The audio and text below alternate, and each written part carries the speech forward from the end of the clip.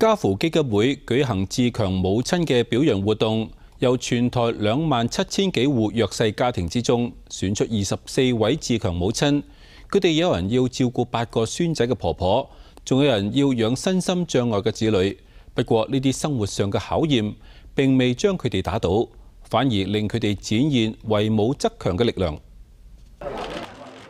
抱住婆婆感謝養育之恩，六十六歲嘅芝梅婆婆。因為三個仔相繼過世，媳婦亦都離開，只能夠負起龐大債務同八個孫仔嘅照顧重擔。平時一日要兼三份差，工作長達十幾個鐘頭。不過佢為咗賺錢養孫，就算健康狀況再唔好，亦都無怨無悔。而曉珍媽媽因為丈夫車禍過世，一對兒女之中，個女自細就係視障者。所以經濟同子女嘅照顧問題成為極大嘅壓力。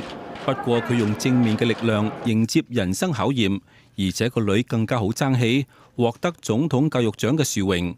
家扶基金會喺母親節嘅前夕，由全台二萬七千幾個嘅弱勢家庭之中選出二十四位自強母親，